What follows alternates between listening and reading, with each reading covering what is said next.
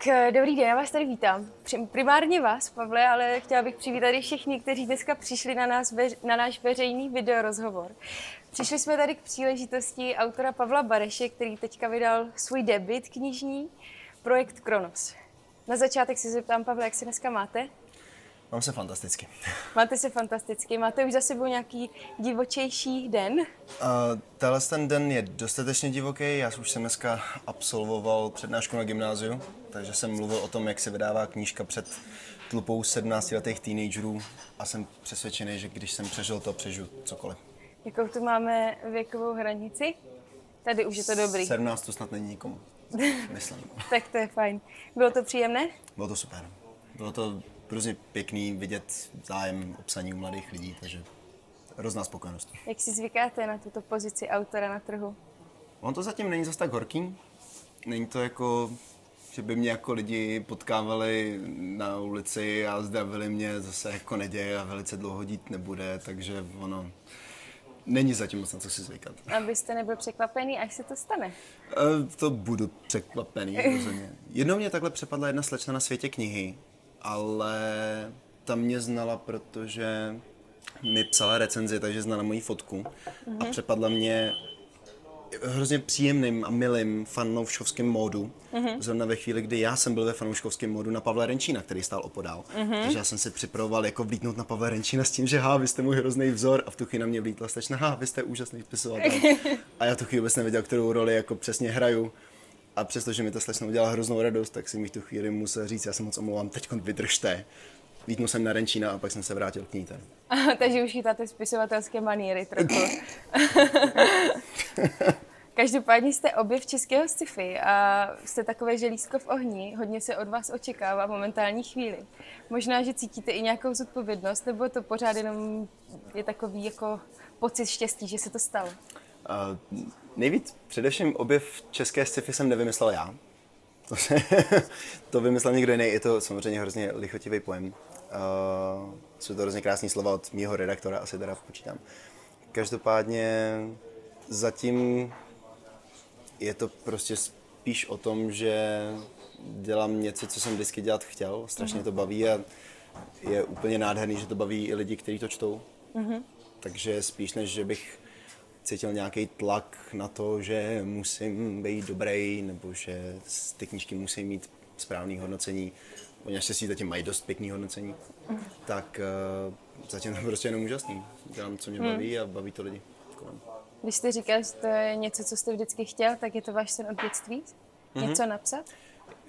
Uh, k tomu mám jednu takovou přiříkající anekdotku, kterou takhle opakuju úplně vždycky. Moje drahá maminka vždycky říkala, že jsem chtěl, že jsem za ní poprvé přišel s tím, že chci být spisovatel, když mi byly tři a neuměl jsem psát.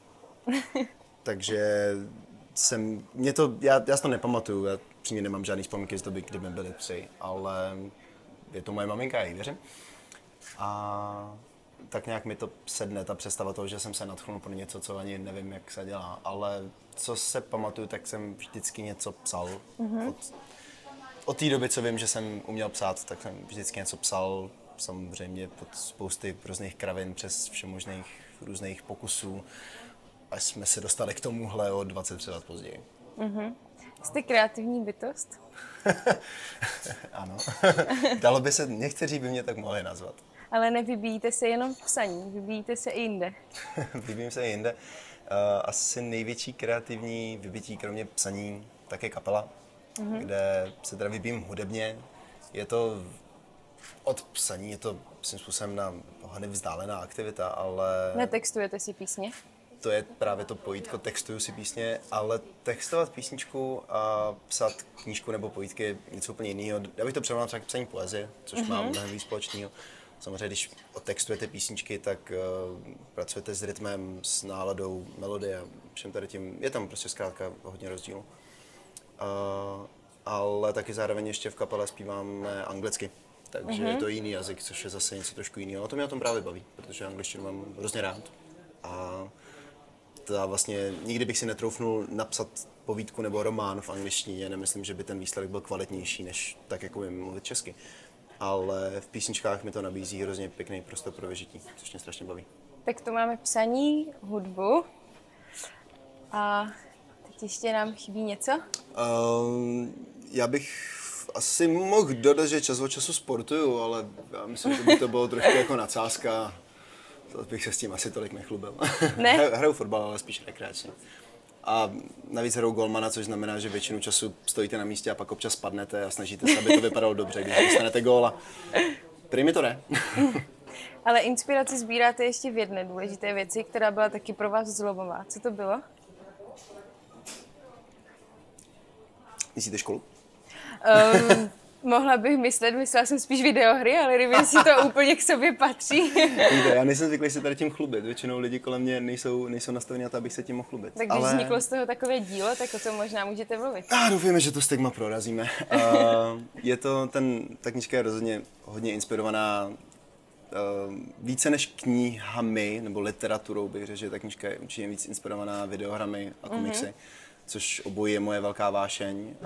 Uh, a kdybychom mluvili o těch videohrách, tak uh, je to zoufalý, ale už jsem se vážně dostal do té fáze života, kterou mi vždycky popisovali moji starší kamarádi, jak už na to hraní není čas a já se najednou uvědomuji, že jsem v tom taky a je to fakt špatný. Ale určitě videohry hraju hrozně rád a nabízejí nedávno jsem zjistil, že už si je opravdu vybírám podle příběhu. Že už mm-hmm. mi nestačí jenom hrát hru pro tu hru, pro ten vlastně gameplay, pro ten herní zážitek, ale potřebuji tam nějaký příběhový zážitek. A díky bohu v poslední době se hrozně rozmohl trend indie developerů nebo nezávislých vývojářů, který uh, zkoušejí různý nápady, zkoušejí nový inovativní přístupy ke storytellingu, k narrativům herním a je spousta her, ve kterých se dá v tom vyžít, takže z toho mám hroznou radost. A tak to vznikal i projekt Kronos, že jste chtěl vytvořit svůj herní svět, je to tak? Ano, ta, nevznikalo, to, um, nevznikalo to jako pokus o počítačovou hru, vzniklo to jako pokus o vyprávěcí RPG, mm-hmm. což je asi Čechům nejvíc známý přes takzvaný dračák.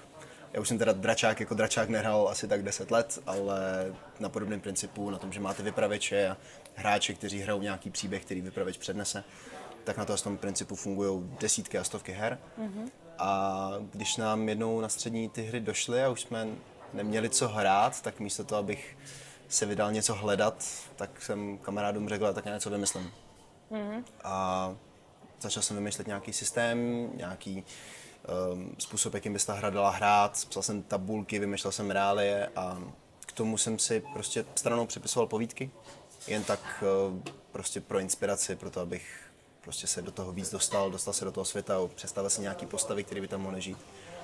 A to jsou první kapitoly té knížky, které prošly velkýma změnama v průběhu toho času, ale postupem, postupně jsem si uvědomil, že vlastně nechci psát, že nechci dělat hru, chci psát příběh. Mm-hmm. A najednou to mělo 600 stránek a je to kniha. Mm-hmm. To je velké uvědomění, ano. a tohle všechno jste přepisoval ze sešitu? Oh, ne, ne, ne, všechno ne. Těch přepisků mohlo být odhadem 50 stránek jenom. Já mm-hmm. přepisování zrtě nenávidím takže si ručkou píšu to nejméně, co jsem mohl. Mm-hmm. A mhm. to uh, psaní rukou bylo, byla taková nutnost, protože většina vlastně začátky té knížky vznikaly mm, typicky na hodinách matiky a chemie a biologie. takže to byly takový cáry v zadních sešitech, v zadních stranách těch sešitů, který jsem potom teda musel chtě nechtě přepisovat. Mm-hmm. A teď se nabízí otázka. Vydal jste knihu, takže můžeme už říkat, že jste minimálně autor. Uvidíme v budoucnu, jestli opravdu spisovatel ale jste na dobré cestě. A teď se nabízí otázka, jaký jste čtenář? Čtenář? Ano. Jsem, uh, a bolí mě to přiznat a bolí to a stydím se, čtenář jsem mizerný. Ale něco čtete? Čtu, já, um, jde o to, že um, já jsem, když jsem byl malý a opět moje maminka by to potvrdila, tak jsem čet strašně moc, třeba do odhledem 12 let, tak pamatuju, tak jsem čet při jídle, při chůzi do schodu, při chůzi ze schodu, při chůzi při přechodu, uh, po přechodu. To je, když si představíte dnešní dítě s mobilem, tak to jsem byl akorát s knížkou. A potom mě to pustilo a já vám neřeknu proč. Prostě jsem přestal číst a někdy s chodou času, tou, zhruba tou dobou, tak mi moje teta pořídila můj první komiks, mm-hmm. což byl nějaký číslo Hitmana od DC, což mimochodem není komiks, který byste měli pořizovat 12 letým dítěti, jo, teda, ale stalo se. A mě to tak nějak jako chytlo, postupně jsem začal propracovávat k vlastně zajímavějším dílům komiksu, k, protože opět komiksy mají spolu takové to stigma, podobně jako když se řekne videohra, tak si většinou představíme nějaký divoký střílečky a když se řekne komiks, tak si většinou představíme Spidermana s Batmanem. Uh, ale je důležitý neplíst uh, vlastně médium a příběhy. Je důležité si uvědomit, že vzniká spousta špatných komiksů uh-huh. a vzniká i spousta dobrých. Uh-huh. Stejně to je s videohrama, stejně to i s knížkama, s filmama, se vším. A takhle jsem se teda postupně vlastně propracoval k těm komiksům, který za to opravdu stojí. A skrz to vlastně to čtení jsem si uvědomil, že ten způsob, jakým se narrativ používá v komiksech, mi to vyhovuje o tolik víc než knížky, že mám, jsem měl od té doby strašný problém se ke knížkám vracet. Mm-hmm. Přečet jsem jich pár, odmaturoval jsem z češtiny, ze státní češtiny, takže ale pravděpodobně jsem pročetl pár povinných četeb, četeb a... Četby. Četby, něco z povinné četby jsem rozhodně, jsem rozhodně uh, přečetl. Uh, nespočet sociologických studií logicky, protože jsem studoval sociologii, ale to se asi nedá ani považovat za inspiraci pro psaní. Uh, každopádně těch knížek, které jsem přečetl, je opravdu málo. Nicméně nějaké srdcové knihy máte. Ano. Tak Kdo možná je tu máme, co hodou všech náhod. Mm. Díky bohu za má zázraky. Mohla by to být třeba tato. To by to, tahle by to rozhodně být mohla. Tahle ta knížka, tu jsem čet, když mi bylo, když mi bylo asi 18. A já jsem dělat vedoucího na dětský tábor. A ty z vás, kdo tu knížku znají, vědí, že to je úplně ta nejhorší doba, kdy tu knížku můžete číst, protože uh, vám to rozhodně nedá moc jako naděje pro protože máte trávit čas v uzavřeném prostoru s dětma. Uh, nicméně Pán Much je uh, hrozně skvělá knížka, obrovn, ohromná inspirace pro témata, která jsem rozvíjel i ve své knížce v projektu Kronos. A myslím, že co na ní žeru úplně nejvíc je, že je to knížka, která se na nic nehraje. On to Golding napsal v reakci na knížku autora, na jehož jméno se nespomenu, nespomenu si ani na jméno té knížky a hrozně nerad bych teď fabuloval ale byl to příběh o třech klucích, kteří ztroskotají na ostrově, zůstanou tam nějakou dobu a totálně si to pošefují, protože jsou to britští gentlemani. Jim asi 12, ale jsou to správní Britové, ctí ty hodnoty. Je to byla taková variace na Robinsona Crusoe, který mi ten příběh znám už trošku jinak, ale původně Robinson Crusoe byl o tom, jak člověk ztroskotá na ostrově a všechno to přežije, protože je správný křesťan. Mm-hmm. Uh, a Pán Much je hrozně krásná reakce na tyhle, ty, uh, tyhle ty dvě knížky. V tom, že je to o skupině dětí, výhradně kluků, kteří ztroskotají na pustém ostrově, chtě nechtě tam teda trochu spontánně začnou vytvářet nějakou společnost a příšerně se jim to zhroutí. Mm-hmm. A je to pro mě samozřejmě, pro mě jako pro sociologa je tak, no, vlastně tady ta knížka, což je taková literárně zpracovaná případová studie sociálního mikrokosmu, tak to tak řekl. tak, uh, to možná by někdo měl zapsat teďka tuhle definici. Uh, já snad už ji doufám někdo řekl teda. uh, každopádně pro mě z tady toho hlediska je to strašně zajímavý, je to výborně napsaný, uh, nikde se to nezadrhává, ale hlavně se mi na tom strašně líbí ta myšlenka, že uh, z té knížky přímo vyplývá, že nějaký put pro civilizaci nebo pro koherentní společnost nám není daný od přírody. Mm-hmm. Je to mhm. taková návaznost na společenskou smlouvu. O tom, že vlastně máme mezi svou nastavená nějaká arbitrární pravidla, kterými se řídíme, která z nás dělají společnost. A ve chvíli, kdy dáte na ostrov 12-letý kluky, který tady to nemají naučený, tak se tím efektivně vracíte do doby před napsáním, před napsáním té společenské smlouvy, před nastavením tady těch pravidel. Mm-hmm. A v tu chvíli ta společnost padá. A tohle poučení je, eh, se mi na té knížce hrozně líbí, ohromně mě inspirovalo a asi pravděpodobně trochu formovalo způsob, jak se na společnost celkově dívám, nebo jak ty témata vnímám. Takže jo, to je mm. skvělá bychla. To je fajn a když jste napsal sci-fi, tak se nabízí otázka, jestli čtete i sci-fi. Jo, um, to slovo to pojmenování sci-fi u tady té knížky je hrozně zajímavý. Já se od něj trochu pozastavím. Mm-hmm. My tomu jako reálně nějak říkat musíme, protože ano. kompletní výčet žánrů v té knížce je post dystopická superhrdinská sci-fi urban akce. A my to většinou prostě zkracujeme do výrazu žánrovka, což znamená, že to má v sobě blíže neurčený poměr tady těch žánrů. Ano. Uh, každopádně tomu říkáme sci-fi, aby se to nějak eh, pěkně zkracovalo, ale já sám, já sám jsem totiž nikdy tvrdé sci-fi jako opravdu mm-hmm. science fiction uh, vlastně nepropadl. Myslím, nejsem si jistý, jestli jsem kdy přečetl celou knížku, která by spadala jenom do žánru sci-fi. Mm-hmm. A sám mnohem víc než uh, mnohem víc než jako sci-fi tu knížku vnímám jako postapokalyptický scénář, jako dystopický scénář, jako městskou žánrovku, to znamená jako knížku, ve které je ohromně důležitý symbol toho města a společnosti v tom tom. A až potom tam vidím nějaký ten nadpřirozený, nadpřirozený um, prvek, mm-hmm. Který, když už u toho jsme, tak se dá považovat za sci-fi prvek, ale on by se klidně dal považovat i za fantasy prvek, protože když se na to podíváme do důsledku, tak uh, hranice mezi sci-fi a fantasy, oni jsou, se hrozně snadno smívají. Mm-hmm. Uh, samozřejmě to rozlišujeme, protože chceme vědět, když si kupujeme knížku, jestli tam budou meče anebo laserové pušky. Ale když se potom podíváme na uh, nějaká díla, která vlastně smívají záměrně hranice mezi tady těmi nové filmy, uh, těmi, tady těmi dvěma žánry, mm-hmm. tak je, zjistíme, že vlastně rozdíl mezi sci-fi a fantasy je jenom v úhlu pohledu.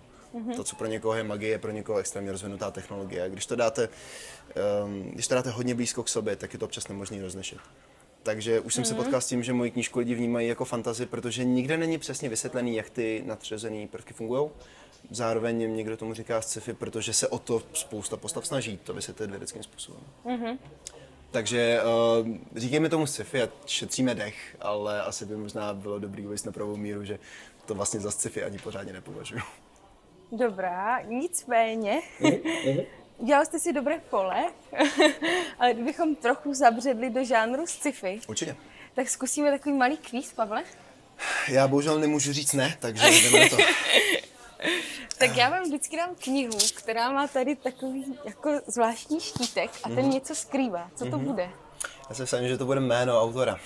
A myslíte, že tak vy zkusíme, že třeba typnete, kdo by to mohl napsat a pak nám odkryjete ten štítek, jestli jste se trefil? Tak eh, men je omezené množství, takže... Tak zkusíme, zkusme. první. Zkusme. Pecka, takže Frankenstein. Um, já vám neřeknu jméno autorky, ale vím, že je to autorka. Výborně. A já si doteďka totiž pamatuju tu anekdotku o tom, že ta autorka se uh, scházela s klubem dalších autorů, Mám dojem, že součástí toho klubu byl i Bram Stoker, který napsal Drákulu, ale mm. ruku do ohně bych za to nedal. uh, nicméně vím, že tehdy, jako když tu novelu napsala, takže to bylo takový lehký pozdvižení, že wow, ženská píše horory, ale na jméno si nespomenu. Tak se podívejte. Takže... Je to slavné jméno. Aha, Merivé, Merivé Shelley. Mary Shelleyová. Ne? Já, ne, ne, ne, ne, ne, bohužel ne, bohužel ne. Dobře. Ale, ale je to žena, je to žena, to je. Tak výborně. Tak možná, že i o tomhle autorovi budete vědět ještě další věci. Ajaj, Gulliverovi cesty. Já si teď připravám jako maturity. ne, tak si nemusíte Jasně, jasně, jasně, že to vím já můžu, já teď udělám takovou tu věc, jak to strhnu a pak se plásnu do čela, pak řeknu to jméno, protože ono tam opravdu je, jo, je mm-hmm. možná ne na jazyku, ale je někde na koření toho. Tak si podívejte. Swift, dobrý, Jonathan Swift. Když co napadá, říkám si, tak Gulliver cesta, teď hledáte tu slovní asociaci, já říkám twist, Oliver Twist, no ne, ano, ten to, to říká nenapsal. hodně lidí. ten to nenapsal, takže dobrý, nebyl to twist, byl to Swift. Dobře. Tak teďka byste si zvedl náladu. Zvednu si náladu, jo? tak zkusme. Tak... Uh... Tohle je ekvivalent z toho, když máte maturitu z hudebky a oni vám řeknou, že teda zaspíváte Skákal pes. Takže tohle to bude o Tolkiena, ano. Ano, výborně. Dobrý. Četl jste? Uh, tak, uh, ne, ne, ne, ne, ne, ne abych to, je to Hobita pan prstenů, že jo? Ano, ano. To, jasně, tak uh, Hobita jsem naštěstí četl a na neštěstí viděl. Mm. Technicky za to třikrát. Uh, asi 6 hodin času, který mi už Peter Jackson nikdy nevrátí. A Pána prstenů jsem nikdy nečetl, já jsem ho totiž nejdřív viděl. To byl, mm-hmm. já si teď neřeknu, kdy ty filmy vyšly, ale bylo to tak nějak jako, že moje generace z toho byla absolutně vyhypovaná a byla to prostě událost, kinemato, kinematografická událost prostě desetiletí, století celého našeho života tehdy. A potom jsem jednou, když jsem ty filmy měl dávno koukaný, tak jsem nějak otevřel náhodně nějakou knížku mm-hmm. a teď jsem si vzpomněl, kdy, on, jako bylo to náhodně a byl to finále návratu krále, takže upřímně nevím, co jsem si myslel, jako, proč jsem to otvíral na předposlední stránce.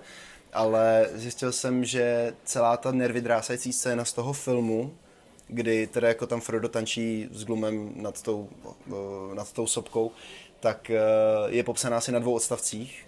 To ve mně vyvolalo absolutní zmatení a už jsem nikdy neměl odvahu se do toho pustit. Mm-hmm. Takže pán prostě jsem ní nečetl, četl jsem Hobita, četl jsem ještě Tuláka Rouvra od mm-hmm. Tolkiena taky, kdysi dávno.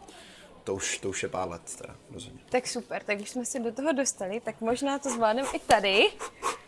A, ah, dobrý, pohodě. Až tak dobrý. uh, 1984 od Orwella, George Orwella. To je Mm-hmm. to by mohlo být jiný datum. Takhle bychom z toho měli 1408, nevím, co bychom z toho měli. Uh, každopádně, jo, George Orwell, uh, 1984, vynikající knížka a inspiraci taky nemůžu zapřít. Výborný dystopický téma, rozhodně. Ano. A rád bych řekl, že jsem se inspiroval tím, ale upřímně inspiroval jsem se zároveň mnoha, mnoha autory, kteří se inspirovali tady tou knížkou, což asi mm. jenom dokazuje, jak výborný kus umění to je. Takže uvažoval jste nad názvem 2052? Ne, ne, ne, ne. Nad názvem se uvažovalo hodně, ale letopočet mě nikdy nebyl zahrnutý. tak, teď tady máme, tak, tak to by taky mohlo jít možná. Já má kivadlo a jiné povídky, uh, kde jste mi elegantně zakryli velký nápis POU, ale méně elegantně jste nezakryli Edgara Alana Pou, ono to teda je méně čitelný, ale pořád to přišlo. A tak věděl jste to, Každopádně Pou, abych, Pou, abych poznal. A tady to máte taky ze zadu. Ještě ke všemu i s jeho fotkou. Já jsem se bála, že kdybyste nevěděl, tak teď budete mít takovou malou Je to u těch ostatních protože to jsem fakt prokaučoval u toho Gullivera. Každopádně uh, určitě zakladatel moderního hororu Edgar Allan Poe, to je v pohodě. A tu povídku um, jste četl? Minimálně tu jednu. Já mu a kivadlo jsem četl. Uh-huh. A teď teda jako o mrtvých jenom v dobrých a o velkých spisovatelích jenom v dobrých, v, dobr, v dobrém. Uh, ale zrovna já mám kivadlo mě příšerně zklamali. Ano. Já mám, a teď teda vážně jako si nechci hrozně rád na velkýho literárního kritika, ale já mám kivadlo je pro mě do dneška takový exemplární příklad toho, jak nedělat Deus Ex Machinu, protože Jáma kivadlo je několika stránková povídka o člověku, který leží v jámě, kývá se nad ním kivadlo, je to nervydrásající, je to skvěle napsané, je to krásně atmosférický a na poslední stránce ho z nějakého důvodu přijde zachránit banda revolucionářů kvůli španělské inkvizici, jestli si dobře pamatuju, aniž by předtím bylo jakkoliv zmíněno, že se to odehrává třeba v době, kdy je španělská inkvizice, nebo že proč je vězněn, nebo tak. Mm-hmm. Přiznám se, že ta povídka mě hrozně zaskočila tím koncem a přišlo mi to, byl jsem co, trochu zmatený z toho, jak vlastně porušuje to pravidlo Čechový, Čechový zbraně. Mm-hmm. Když mhm. máte prostě, když se má z pušky střílet, musí nejdřív vyset nad krbem. A každopádně to jsem si dovolil hodně a hodně mi další knížku radši rychle. Je to ve vaší režii, Pavle, bez problémů. Tak já to teď ukážu takhle, jo? Protože už se vás bojím. Vy se tam někde díváte a tam všude jsou ta jména. Tak máme tady dva roky prázdnin a ocelové město. Jo, tak. Ani jsem nečet. Dva roky prázdnin jsem poslouchal na kazetě, když jsem byl malý. Byl jsem ještě tak malý, že se věci poslouchali na kazetě. Uh, pročež vlastně ta knížka ve mně vyvolává úplně jiný vzpomínky než knížky, ale naopak je mám... Zamlouváte toho autora? Uh, jo, uh, Jules Verne. Výborně, Dobrý, můžete pokračovat. uh, ne, ten, uh, dva roky prázdní na kazetě mě jako malýho naučili slovo konsternován, protože já nevím, jestli to v té knížce, ale jeden z učitelů, který čekají na ty studenty, až se vrátí, tak to tam opakuje na té kazetě úplně furt, že je čiře konsternován. A byl jsem z toho ve svých asi osmi letech hrozně zmatený, takže to už jsem nevytlačil, to slovíčko. A je hrozně zajímavý vlastně, že protože když Ehm, já jsem podobně jako dva roky prázdnin jsem taky na první, na kazetě odposlouchal první díl Harryho Pottera. Mm-hmm. Nikdy jsem ho nečet. Asi jsem se k němu někdy vracel, ale nevím, jestli jsem ho někdy přečetl od začátku do konce, prostě jsem ho jenom poslouchal na kazetách. A tím pádem můj zážitek z těch kazet je úplně jiný než zážitek z té knížky. Mm-hmm. Takže mě hrozně zajímalo, kdybych si znovu přečet dva roky prázdnin, jak bych z toho byl zmatený, protože když si představujete vlastně z těch dialogů to prostředí, tak eh, jak moc by to bylo, jak moc by se to pralo s tím, co bych se dočil v té knížce, jak to prostředí mm-hmm. vypadalo, jak ty postavy fungovaly tak. Zkusíme ještě? Ajaj. Don Quixote? A, Don Quixote de la Mancha. Uh, Já teď jenom, ano, protože to je dobré, že to víte, protože na něj odkazujete ve své knize. Tak by to bylo zvláštní. Hey, a to, To a jsem to, a to, vybrala to je super, když se vám stane, jo. no na to odkazujete v knížce. Jo, to jsem vybrala pro vás. Jo, jednou, jednou mi takhle někdo v nějaké uživatelské recenzi na databázi knih vyčetl v knížce Senku s kaprem a dobrých 10 minut jsem přemýšlel, kde tam, pane bože, mám nějakýho kapra. Přišel jsem na to, nejsem si teďka jistý, co přesně s ním bylo za problém, nicméně dobrý, našel jsem ho tam. A už jsem si vzpomněl, i kde odkazuju na toho Dona Kichota, dobrý, v pohodě. Ano, je to tam jenom ve vtipu, dané? Je to tam jako jenom ve vtipu. přirovnání, ano. A teď teda taky si neodpustím to, že to, že je to od Cervantese si nepamatuju ani kvůli škole, ani protože bych to četl, ale kvůli počítačové hře Lionheart, ve který se ta historická postava objevuje. Takže, uh, tak počítačové hry vzdělávají vaše děti. Juj. Odisea, uh, jasně, Homer. Výborně. Dobrý. Super. To je ta A, povinná četba, to už, to už je to eh, škola. Tahle je pro děti, kdybyste si ji chtěl, Pavle, přečíst. Je tam hodně obrázků? Jsou tam takové ty obrázky. Žehmináčku. Tak a zkusíme, která z těchto koník, knih než- je nejstarší? Řekl byste si? Která byla napsána Jen tak jako rychle prolítnu, ale okamžitá věc je ten Homer, zaručeně. výborně. jasně. A nejmladší? Um, to počkat. Uh, 1984 bylo napsané v roce 48. Mhm. A Jama Kivadlo bylo určitě starší Mhm. a teď váhám jenom u toho Frankensteina. Ne, tam Ale ne, tam myslím, ne. Vraťte se zpátky. já si myslím, že 80... Výborně. Jo, já myslím, že Ano. jo. U toho, ještě u toho pána prstenu bych si zaseknul, Ano, ten- ale ten musel být ne moc Oni to dopsa- dřív, ne? on to psal vlastně od roku 37, takže ta doba byla delší, takže to dopsali zhruba nějak ve stejné době. Takže tady bychom... Ale výborně. Takže knihy jsme prošli, měl jste z toho velký strach. ale Já jsem z toho je- příšernou hrůzu. Ano, musím přiznat, že Pavel z toho měl velkou hrůzu, ale myslím, že jsme to bez problémů zvládli. Nicméně většina lidí tady přišla i kvůli vaší knížce Projekt Kronos. Nejenom kvůli toho, jaký jste člověk, ale to nás všechny zajímá samozřejmě taky. Uh, projekt Kronos, teda nebudeme říkat, že to je sci-fi. Vyvarujeme můžeme, se tomu. Může, můžeme, ale můžeme říkat, že je to žánrovka, to je o jednu slabiku delší. Dobře. Takže Uh, nicméně dneska se o ní zkusíme bavit trochu jinak. Nebudeme Mhm. uh-huh. úplně prozrazovat třeba konkrétní dějové linky, Mhm. uh-huh. ale uh, budeme vycházet taky trochu z mého osobního čtenářského věmu. A to je, že ta knížka má neuvěřitelný přesah. A klobouk dolů před vámi, protože jsem četla, že jste ji začala psát v 19 letech. To je pravda. moc krát děkuju a je to pravda. Uh, nicméně uh, je tam spousta věcí, které se asi dotýkají toho, že jste sociolog. Je to tak? Že si zvláštní poslouchat, že jsem sociolog. Já mám, já mám diplom ze sociologie, že máte diplom ze sociologie. státní se za čtyři jedničky, ale pořád si nejsem jistý, že jako bych byl úplně sociolog. Ale uh, inspirace tou školou tam bude určitě ohromná. Uh-huh. Možná ani ne tak, uh, ani ne tak uh, proto, že bych... Um, ta knížka se dotýká mm, sociálních témat, filozofických témat, hodnot uh-huh. lidského života, uh, svobodné vůle. A nemyslím si, že jenom proto, že člověk vystuduje eh, sociologii nebo se ho nějak dotkne to studium, tak jenom proto by automaticky měl k tady těm věcem nějaký postoj. Mm-hmm. Ale že o tom chtě nechtě začne přemýšlet. Mm-hmm. A spousta z toho, co v té knížce je, v těch, ať už jsou to jenom krátké obrazy, nebo poznámky pod čarou, nebo náměty celých kapitol, tak eh, je právě odrazem toho, že jsou to prostě témata, nad kterými občas přemýšlím, co je správně a co ne, jak by věci měly fungovat nebo ne. Uh, dopředu jsem věděl, že nechci na ně odpovídat a že nechci čtenářům podsouvat nějakou vizi toho, jak by měl svět fungovat nebo jak by se člověk měl chovat. Ale šlo spíš o to čtenáře trochu provokovat. Trochu ho přimět k tomu, aby si přečetl kapitolu a řekl si, ty to vlastně hrozně dobře znám. A ujasnit si sám pro sebe, jaký k tady tomu má postoj. Ano, to je pravda, protože ta knížka se odehrává neúplně ve vzdálené budoucnosti a Mhm. odehrává se v době po třetí světové válce. Takže se nabízí otázka, jestli to je nějaká předzvěst, kterou vy vnímáte osobně. Uh, Je to vaše obava? Není. Uh, je to um, důvod, proč se to odehrává takhle brzo, je ten, že je to budoucnost ani ne 30 let, jo, mm-hmm. 35 let daleko, to znamená, je to něco, čeho se vlastně takřka každý čtenář pravděpodobně dožije. Mm-hmm. Tím pádem čtenář, když čte příběh z takového světa, tak na jednu stranu ho vnímá jako dostatečně vzdálený, je to pro něj dostatečná fikce, aby to bral jako, že nečtel o svém světě. Ano. Ale zároveň je mu ten svět tak hrozně povědomý, že si to dokáže vstávat k tomu svému. Mm-hmm. Když budete psát sci-fi o vesmírné kolonizaci, je to moc vzdálený, člověk to bude brát jako sci-fi. Já jsem ano. chtěl, aby to bral jako trochu pokřivenější verzi, uh, pokřivenější verzi toho našeho světa. Ano. To tam je citelné hodně.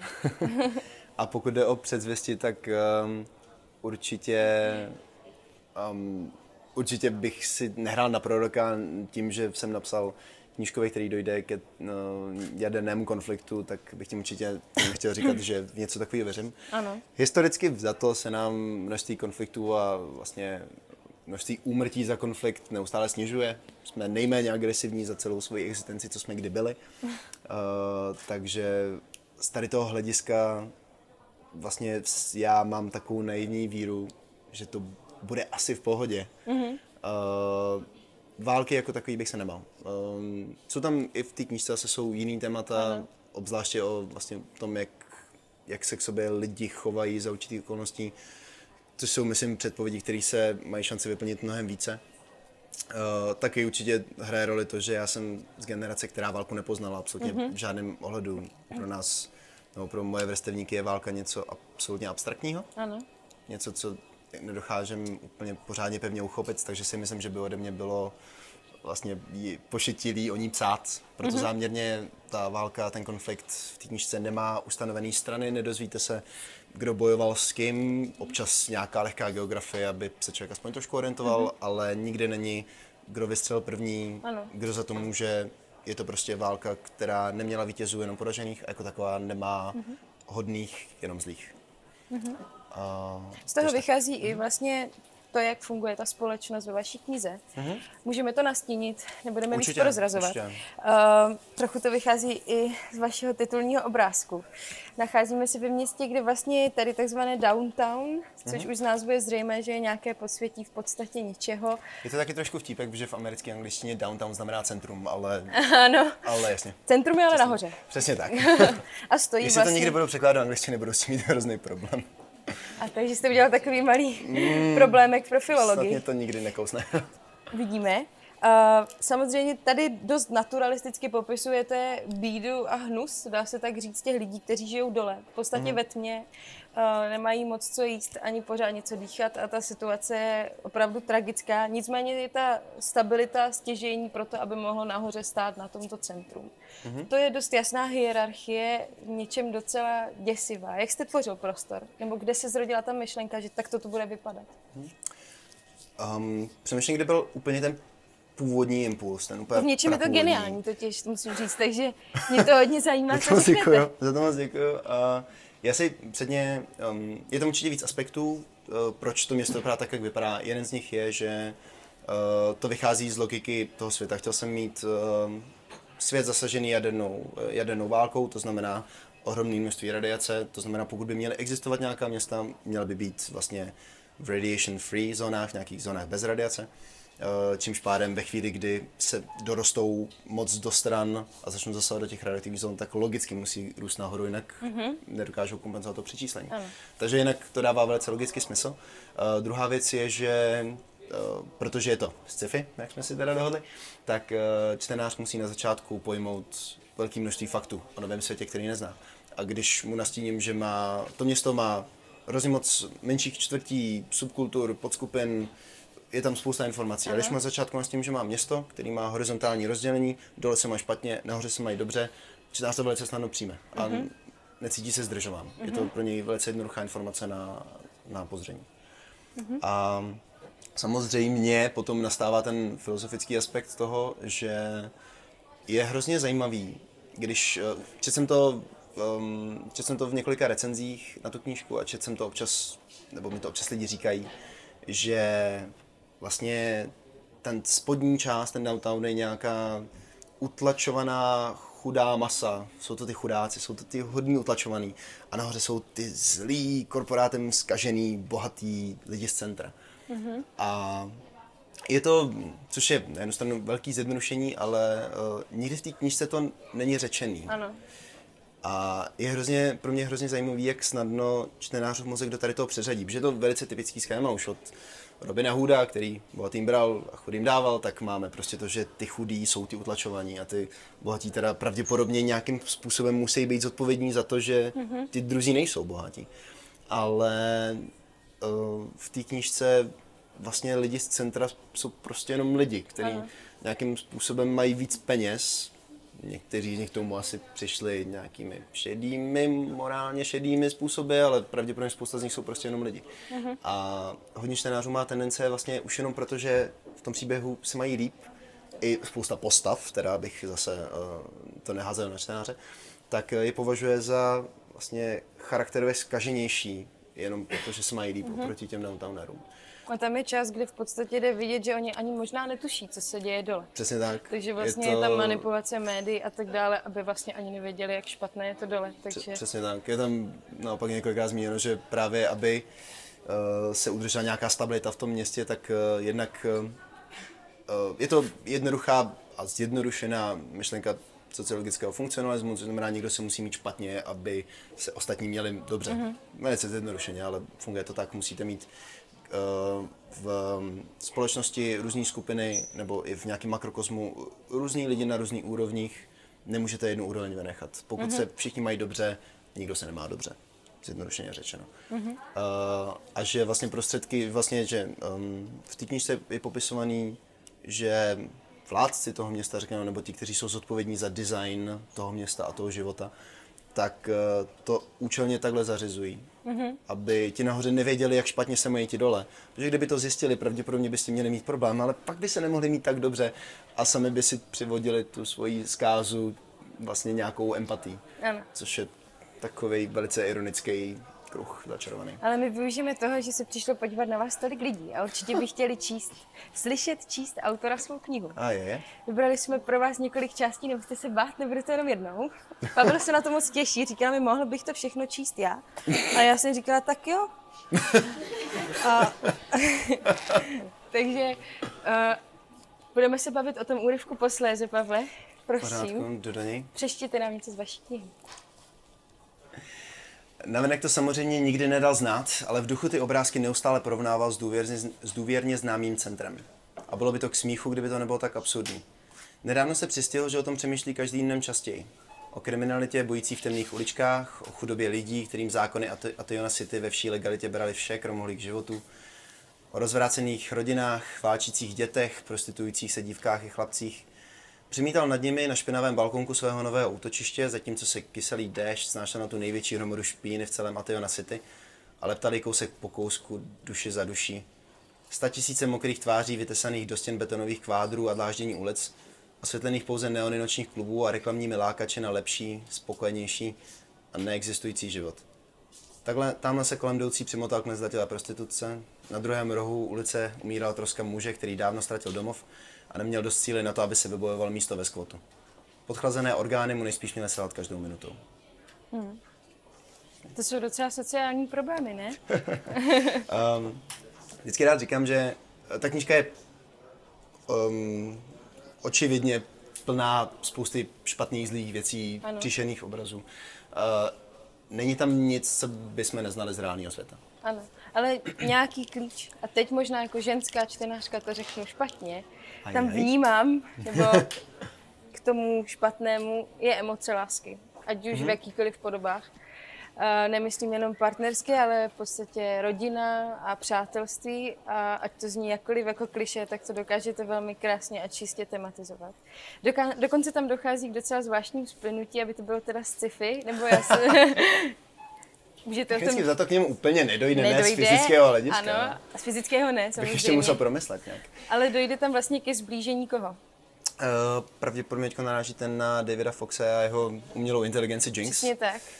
Jak vypadá ta umělá inteligence ve vaší knize? Uh, celkově s tady těma dvěma postavama se to má tak, že jedna z hlavních postav, jedna z tří hlavních postav je David Fox, uh, zvláštní agent, který sebou, který pracuje hodně v, v utajení a má sebou Jinx, což je um, takové hands-free, mm-hmm. uh, ve kterém je super výkonná umělá inteligence, která je specificky nadizajnovaná tak, aby ho udržovala při zdravém rozumu. Mm-hmm. Nehledě na to, co to znamená. Ano. Uh, což... Možná víc neprozrazujte, úplně do detailu. Sam asi, asi, asi není třeba. Každopádně to, to byla uh, velká výzva. Ano. Když o tom takhle přemýšlím, asi mi to nikdy nedošlo, ale určitě inspirovaná videoherní sérii Halo, ve které hlavní hrdina má podobně ladinou umělou inteligenci, která jsme Cortana. Ano. Kterou ti nešťastníci z vás, kteří mají Windows Phone, znáte ze svých telefonů. A je mnohem méně sympatická než ta v těch hrách. Uh, takže to je třeba jeden typ vztahu, což bylo hrozně zajímavý mít, uh, mít tam vlastně vztah, uh, nemůžu říct si romantický, ale nějakým způsobem intimní vztah mezi člověkem a umělou inteligencí. Mm-hmm. Uh, kor o to, že vlastně jde o tak říká, jediný vztah, kterého je ta postava vlastně schopná. Mm-hmm. Uh, mluvila jste tady vlastně o romantické lásce a já čím víc o tom přemýšlím, tím mám dojem, že romantické lásky jako romantické lásky je tam docela málo. Ano ale protože Ale ono, je to nějaká víra v něco jiného, než že se zbortí svět. Tak. Ono, tohle to, um, tohle to potřebuje jinak čtenář. Potřebuje tam mít nějakou světlou emoci, ať už jde o lásku, přátelství, naději. Uh, potřebuje to čtenář, protože jinak by to prostě byl nekonečný prout příšerný depky a čtenář by to nevydržel. teda některým čtenářům se to líbí, ale to nejsou ty čtenáři, pro který jsem tu knížku psal. Ale oni to zároveň potřebují i ty postavy. Mm-hmm. Ve chvíli, kdy si vezmeme Jasona, vlastně nejhlavnějšího z těch hrdinů, který si projde opravdu příšernými zkouškami, kdyby on neměl v sobě nějakou takovou emoci, nějakou takovou naději, tak by se ta postava buď to zhroutila v polovině knížky, anebo by to vydržela, ale čtenář by poznal, že tak to nemůže fungovat. Mm-hmm. Čtenář by to, ne, by to nevěřil. Mm-hmm. Takže oni, díky bohu, postavy si postupem času, čím víc píšete, čím víc osobností jim dáváte, tím víc uh, si vlastně vydupou nějaký svůj charakter, mm-hmm. nějaký svoje lehké nuance. A u Jasona konkrétně to ani není ten jeho romantický vztah, který tam svým způsobem má, ale především vztah jeho matce. Mm-hmm. Což uh, vždycky, když jsem nad tím přemýšlel, tak jsem si říkal, dobře, takže Fox má robota, uh, Luko má tady tu a Jason ten má svoji mámu. Ano. Což zdaleka nefunguje tak hrozně, jak to teď zní. Opravdu Nicmé... Eh, nicméně pro Jasona ta postava jeho matky je absolutně klíčová v tom, že nejvíc znázorňuje ten vnitřní boj, který se něm odehrává, protože mm. co Jason chce dělat, je pobíhat po městě v kostýmu a dělat superhrdinu. Co by Jason měl dělat, je dodělat školu a postarat se o svou mamku. Mm-hmm. Tak. tak já přečtu to, tentokrát já, to je na Děkuju. vás moc krátké, Pavle, máte víc prostoru. to je podle mě nádherná myšlenka, já si ji neodpustím ji nepřečíst. Říká to ta právě umělá inteligence, že ani ze všemi výpočty světa nikdy nevypočítám, co je správné a co ne. Ale že dokud žijeme ve světě lidí a dokud si ty v jádru alespoň trochu člověkem, pak někde uvnitř musíš cítit, co máš dělat. Myslíte tím, že svět je plný lidí, ale lidskost mu tak chybí? Že musí v sobě to lidství trochu hledat? Um, možná jsem tím s tím spíš myslel, uh, nebo opět narážel jak už jsem říkal, nejsem si jistý, jestli jsem chtěl čtenáři přímo vkládat nějakou myšlenku do hlavy. Mm-hmm. Ale myslím, že jsem tím spíš narážel na problematiku počítání morálky, mm-hmm. protože op, neříkám teď, nechci říct, jest, bylo by snadné, ale um, můžeme se pokoušet v různých příkladech přepočítávat morálku na něco počítatelného. Na peníze můžeme řešit, kolik peněz dáváme na charitu, můžeme si počítat lidi, kterým jsme kdy pomohli versus na lidi, kteří pomohli nám a tím si nějakým způsobem udržovat pocit o své karmě. Můžeme si to pokoušet nějak přepočítávat. Mm-hmm. Ale na co tady Jinx, což je super výkonný program, který mu nedělá problém spočítat absolutně cokoliv, co byste po něm kdy chtěli spočítat. Mm-hmm. Naráží je, že morálka není něco, co bychom, o čem bychom mohli uvažovat jako o fixním řádu, na který se lidi snaží napasovat, mm-hmm. ale, o něcem, o, ale je to spíš něco, co lidi plynule vytváří za pochodu. Je to mm-hmm. něco s, proměnlivý, s proměnlivými pravidly a vymyká se to přírodním zákonům, matematice, uh, nějakému objektivnímu chápání. Mm-hmm. Takže pokud se tady Fox, že jí Fox žádá o radu ohledně důležitého morálního rozhodnutí, je to něco, co se nedá obejít tím, že to hodíte na výkonnější stroj. Mm-hmm. Je to volba, kterou musíte udělat sami pro sebe a žít s ní sami pro sebe. Mm.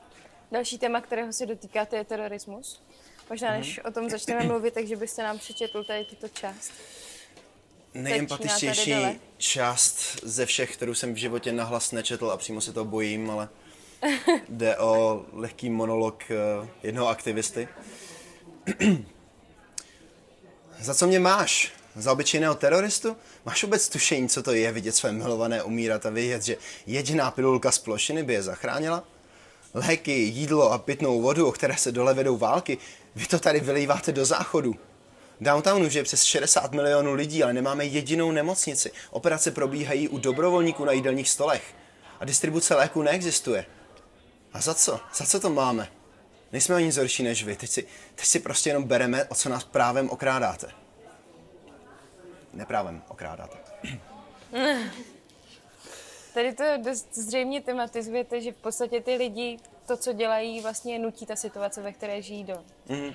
Takže je stavíte v podstatě do, do, do role, že ani za to nemůžou, kam se prostě dostávají. Je to téma celé té kapitoly, ve které Aha. se to odehrává. Je to opět něco, co si čtenář musí rozhodnout sám. Máte postavu aktivisty, který použije v určité prostředky, aby splnil určitý účel.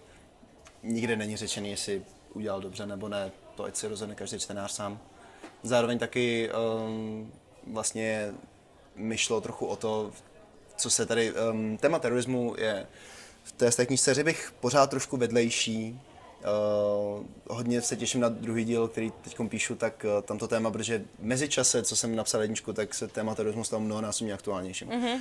Uh, takže se těším, až ho budu moc pořádně rozpracovat ve dvojce. Takže chystáte druhý díl, to je dobře, Chystáme, protože my, co jsme to dočetli, jsme mysleli, že se zblázníme s tím koncem otevřeným. Já se všem za, tím, za ten cliffhanger se všem hrozně omlouvám. hledali, kde to jako pokračuje. A přísahám, přísahám, že kdybych to useknul kdekoliv později, bylo by to horší. Opravdu? Jo, mě, já už, už tady jsem věděl, jak to bude pokračovat a už by to bylo. Pavle, a kdy vyjde váš druhý díl? To já vůbec nemám tušení. Mm-hmm. Uh, já... Takže máme čekat prostě. já slibuju, že budu rychlejší než George R. R. Martin. Dobře. Jsem dostanu vůbec není těžký, takže... Tak to je fajn.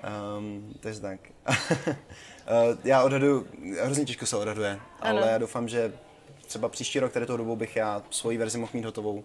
Pak záleží na tom, jak to půjde s nakladatelstvím, uh, jak budou mít čas lidi z nakladatelství, kteří pracují na jedničce a kteří chtějí pracovat mm-hmm. na mhm. dvojce a já chci, aby pracovali na dvojce.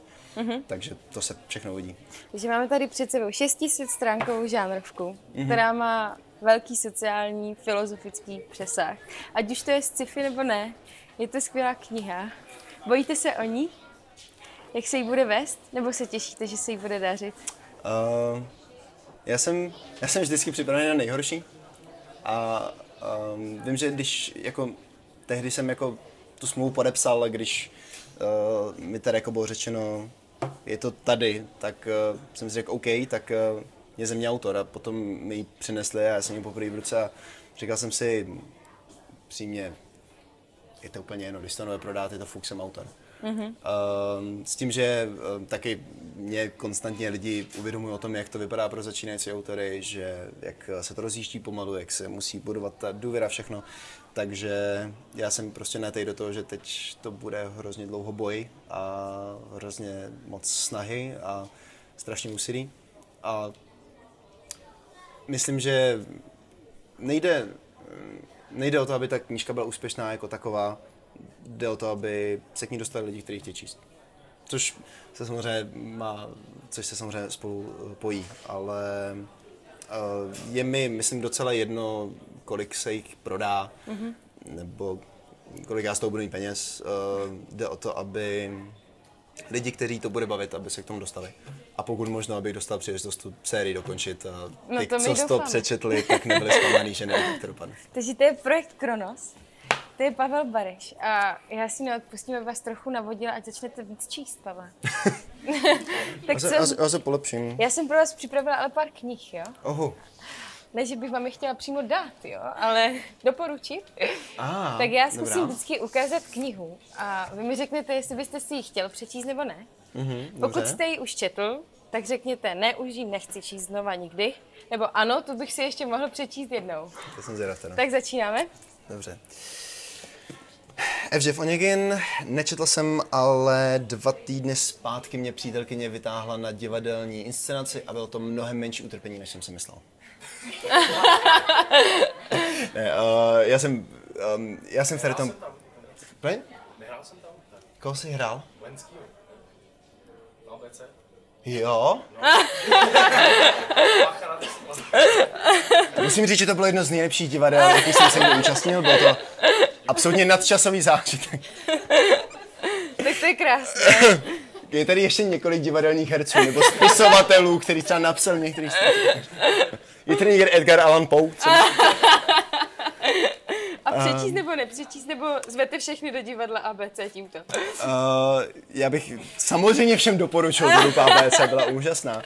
Ale ať teda jako se nějak dostanu z těch mělkých vod, eh, tak uh, ne, já jsem opravdu uh, o té knížce, respektive o tom tématu, uh, já jsem proti, jakmile slyším jméno knížky a vybaví se mi, že jsem se o ní učil někde mezi sextou a oktávou ve škole, tak mě se prostě jako nastaví úplný obraný reflex a nechci s tím mít nic společného. Uh, ale hrozně mě překv... uh, milé mě potěšilo a překvapilo, že téma Evžena Onegina je jako prostě hodně nadčasový a já myslím, že by to opravdu možná, je dobře, že je to povinná četba pro pubertáky, který se pravděpodobně Pavle, ano nebo pasujou ne? s promětěma. Ne, ne, ne, ne. Ne, ne, ne, ale ne. ne, dobře. Tak zkusíme to teď. Uh, tak o tom jsem se učil někdy mezi sextou a oktávou. A nikdy jsem to neviděl jako divadlo, tím pádem nikdy bych to nepřečetl. Pardon. Takže ne. tak zkusíme odsud. Havran, jasně. S těmi, eh, nečetl jsem, nečetl jsem, ale přečetl bych. Mm-hmm. Ideálně v angličtině. Dobře. Měl bych tu, tu možnost. RUR jsem četl a klidně bych si přečetl znova. Výborná mm-hmm. věc. Že jsme u toho divadla, které máte tak rád. Hamlet. Uh, viděl jsem, uh, nečetl jsem, viděl jsem uh, inscenaci s Cumberbatchem v roli Hamleta. Mm-hmm. Um, pravděpodobně bych, uh, nečetl bych. Nečet, bych radši znova. byste viděl.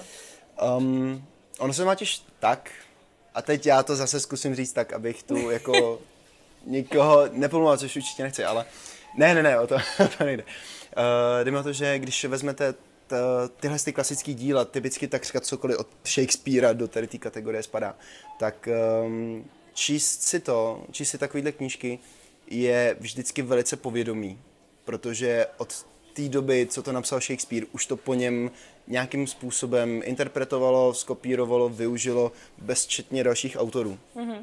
A když teda uhnu od Shakespearea, kde nejsem tolik zkušený, k něčemu, kde budu trošku víc zkušený, já mám podobný problém s, pardon za to paralelu, s věznýma válkama. Já jsem Hvězdný války viděl poměrně pozdě, dávno potom, co byly eh, čerství originální, v době, kdy už to skopírovala prakticky každá sci-fi opera, která vyšla od té doby. A pro mě Hvězdný války vůbec nejsou žádný zážitek, čistě protože na to koukám a už jsem to všechno jenom viděl. Mm-hmm. A podobný pocit mám vždycky, u, když čtu, nebo když vidím někde úryvek Hamleta, nebo když jsem třeba viděl Roma a Julie, je to příběh, který uh, myslím, že je prostě poplatný té době. Mm-hmm. Že tím, jak už jsme tu západku viděli ve spoustě jiných děl, uh, pro nás ztrácí, když na ničem jiném, tak na té originalitě, tím pádem trochu na přitažlivosti. Mm-hmm. Čím si říct, že nemá cenu ty věci číst a je rozhodně skvělý, že jsou, že spousta lidí, kteří pořád oceňují ty kořeny těch mm-hmm. věcí. Je, jenom nejsem jeden z těch lidí. Dobře. Uh, Petra Lucie. To mám záloh jste nikdy nečíst, ale nevím proč, protože se ani nevybavím, o čem to je. O lásce. Je to o lásce, aha, no to bude tím. ne, je to, uh, je to pravděpodobně něco, na co nejspíš časem do divadla půjdu, jak to tak vidím. Dobře. A zkusíme ještě odsaď. Obraz Doriana Gray, Oscara Wilda. Uh, nikdy jsem nečetl, ale do toho bych se asi zlákat nechal. Mm-hmm. Uh, a pokud ne číst, tak uh, bych se někdy podíval aspoň na filmovou, na filmovou variantu. Ta knížka má hrozně pěkný námět. Mm-hmm. proč bych se měl stydět, že jsem se k ještě nikdy nedostal, ale uh, ten námět, uh, to téma vlastně zkaženosti člověka na venek nebo uvnitř je hrozně skvělý. Mm-hmm. Takže ano, jo, to bych si přečíst měl. Malýho prince jsem četl zatím dvakrát, jednou, když mi bylo 8 a vůbec jsem z něj nic neměl, jednou, když mi bylo 15 a od té doby jsem pevně přesvědčený, že je to o holce. A přečtu si to znova, když mi bude 30 a jsem hrozně zvědavý, o čem to bude pak. Říká se, že v tom nacházíte každý rok něco nového, to je Jo, pravda. Já to nechci zkoušet každý rok pro jistotu, ale každých těch 15 let si myslím, že to bude úplně v pohodě. Uh, krakatic jsem nečetl, čepně. A přečetl byste si? Vzhledem tomu, že i bílá nemoc, i RUR jsou absolutně vynikající, tak ano. Tak Pavle, co dnešní krásný rozhovor pro vás? Počkej, vážně? No jistě. Ty teď fakt budu muset. moc, To bylo nejpřesvědčivější. Ne, ne, moc ne, určitě, určitě, moc děkuji. Takže tohle byl Pavel Bareš, autor teď žánrovky, projekt Kronos. Eh, Pokud jste ji ještě nečetli, tak si ji určitě přečtěte. Já vám děkuji za skvělý rozhovor. Ne, Ať se vám daří a prosím vás, napište ten druhý díl už brzo. Makám na tom, makám na tom, co myslíte, stačí. Děkuji. Děkuji vám děkuju. všem. Hu, hu.